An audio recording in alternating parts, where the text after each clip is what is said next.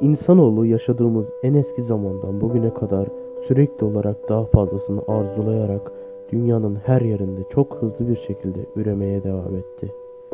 Kendi yaşam kalitesini biraz daha arttırabilmek için dünyanın güzelliklerini en berbat şekilde kullanarak diğer canlıların doğal ortamlarını işgal ederek çevresine sürekli olarak zarar verdi.